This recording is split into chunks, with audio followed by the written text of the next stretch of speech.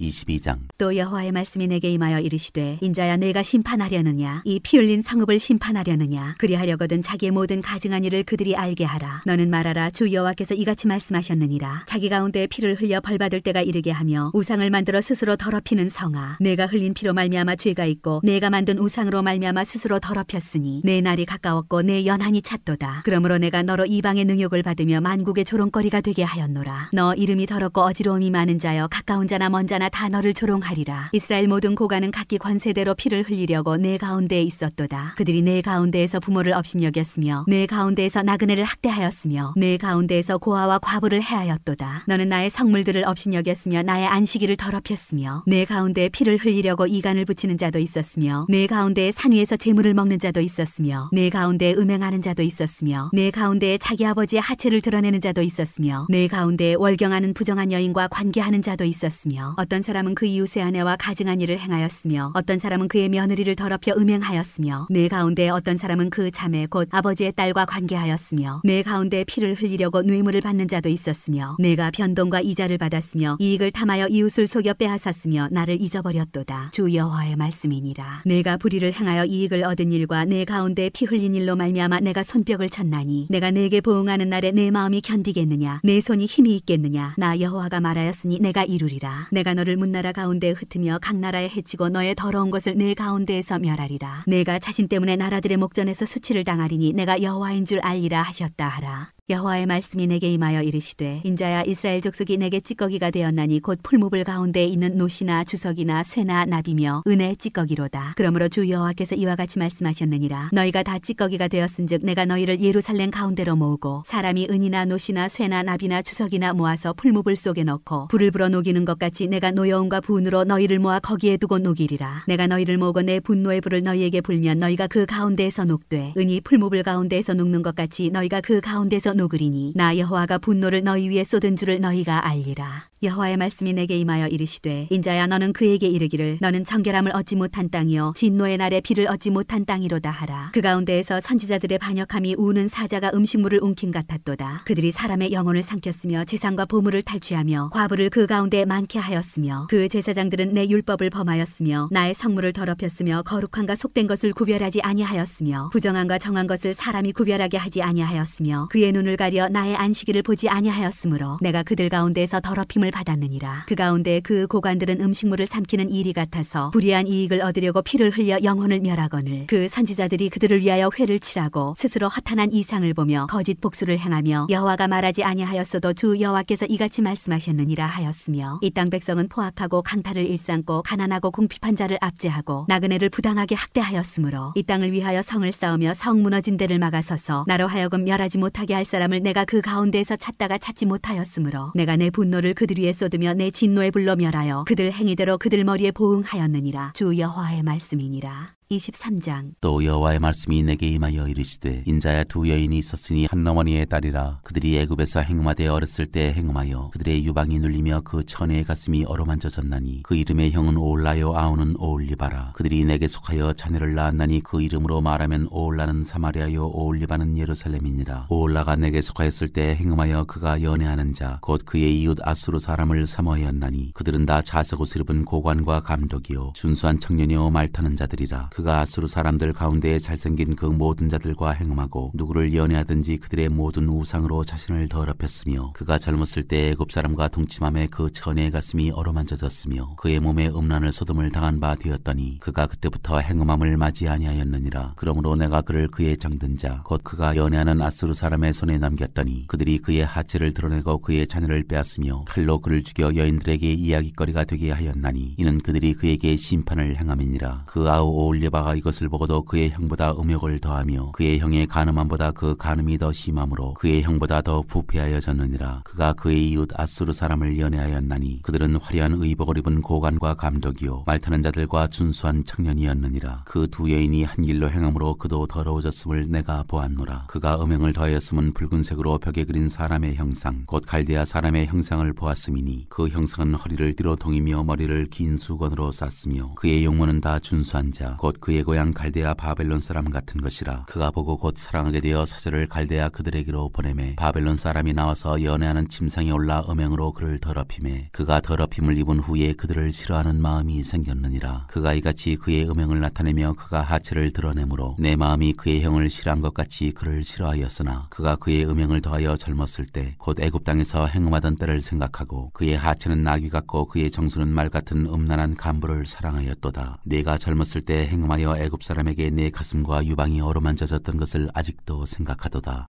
그러므로 올리바야 주 여호와께서 이같이 말씀하셨느니라. 나는 네가 사랑하다가 싫어하던 자들을 충동하여 그들이 사방에서 와서 너를 치게 하리니 그들은 바벨론 사람과 갈대아 모든 무리 부것과 소아와 고아 사람과 또 그와 함께한 모든 아스루 사람 곧 준수한 청년이며 다 고관과 감독이며 귀인과 유명한 자여 다 말타는 자들이라. 그들이 무기와 병거와 수레와 크고 작은 방패를 이끌고 투구쓴 군대를 거느리고 치러 와서 너를 애워싸리라. 내가 재판을 그들에게 맡긴즉 그들이 그들의 법대로 너를 재판하리라 내가 너를 향하여 질투하리니 그들이 분내어 내 코와 귀를 깎아버리고 남은 자를 칼로 엎드러뜨리며 내 자녀를 빼앗고 그 남은 자를 불에 사르며 또 내 옷을 벗기며 내 장식품을 빼앗을지라. 이와 같이 내가 네 음란과 애굽 땅에서부터 행음하던 것을 그치게 하여 너로 그들을 향하여 눈을 들지도 못하게 하며 다시는 애굽을 기억하지도 못하게 하리라. 주 여호와께서 이같이 말씀하셨느니라. 나는 네가 미워하는 자와 네 마음에 싫어하는 자의 손에 너를 붙이리니 그들이 미워하는 마음으로 네게 행하여 네 모든 수고한 것을 빼앗고 너를 벌거벗은 몸으로 두어서 네 음행에 벗은 몸 곧 네 음란하며 행음하던 것을 드러낼 것이라. 네가 이같이 당할 것은 네가 음란하게 이방을 따르고 그 우상들로 더럽혔기 때문이로다. 네가 네 형의 길로 행하였은즉 내가 그의 잔을 네 손에 주리라. 주 여호와께서 이같이 말씀하셨느니라. 깊고 크고 가득히 담긴 내 형의 잔을 네가 마시고 코숨과 조롱을 당하리라. 네가 네 형 사마리아의 잔 곧 놀람과 패망의 잔에 넘치게 취하고 근심할지라. 네가 그 잔을 다 기울여 마시고 그 깨어진 조각을 씹 으며 내 유방을 꼬집을 것은 내가 이렇게 말하였습니다. 주 여호와의 말씀이니라. 그러므로 주 여호와께서 이같이 말씀하셨느니라. 네가 나를 잊었고 또 나를 네 등 뒤에 버렸은즉 너는 네 음란과 네 음행의 죄를 담당할지니라 하시니라. 여호와께서 또 내게 이르시되 인자야 내가 오올라와 올리바를 심판하려느냐. 그러면 그 가증한 일을 그들에게 말하라. 그들이 행음하였으며 피를 손에 묻혔으며 또 그 우상과 행음하며 내게 낳아준 자식들을 우상을 위하여 화제로 살랐으며 이 외에도 그들이 내게 행한 것이 있나니 당일에 내 성소를 더럽히며 내 안식일을 범하였도다. 그들이 자녀를 죽여 그 우상에게 드린 그날에 내 성소에 들어와서 더럽혔으되 그들이 내 성전 가운데에서 그렇게 행하였으며 또 사절을 먼 곳에 보내 사람을 불러오게 하고 그들이 오매 그들을 위하여 목욕하며 눈썹을 그리며 스스로 단장하고 화려한 자리에 앉아 앞에 상을 차리고 내 향과 기름을 그 위에 놓고 그 무리와 편히 짓거리고 즐겼으며 또 광야에서 잡녀와 술 취한 사람을 청하여 오매 그들이 팔찌를 그 손목에 끼우고 아름 다운 관을 그 머리에 씌웠도다. 내가 음행으로 쇠한 여인을 가리켜 말하노라. 그가 그래도 그들과 피차 행음하는도다. 그들이 그에게 나오기를 기생에게 나온 같이 음란한 여인 오올라와 오올리바에게 나왔은즉 의인이 간통한 여자들을 재판함 같이 재판하며 피를 흘린 여인을 재판함 같이 재판하리니 그들은 간통한 여자들이요 또 피가 그 손에 묻었음이라. 주 여호와께서 이같이 말씀하셨느니라. 그들에게 무리를 올려보내 그들이 공포와 약탈을 당하게 하라. 무리가 그들을 돌로 치며 칼로 죽이고 그 자녀도 죽이며 그 집들을 불사르리라. 이같이 내가 이 땅에서 음란을 그치게 한즉 모든 여인이 정신이 깨어 너희 음행을 본받지 아니하리라. 그들이 너희 음란으로 너희에게 보응한즉 너희가 모든 우상을 위하던 죄를 담당할지라. 내가 주 여호와인 줄을 너희가 알리라 하시니라.